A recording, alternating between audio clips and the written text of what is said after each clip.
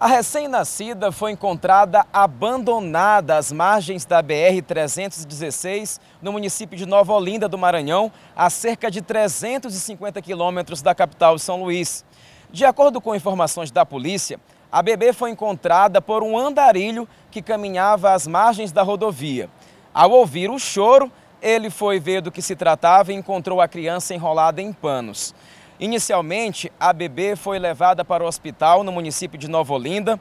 Em seguida, foi transferida para um hospital lá no município de Zedoca e, posteriormente, transferida aqui para a capital São Luís.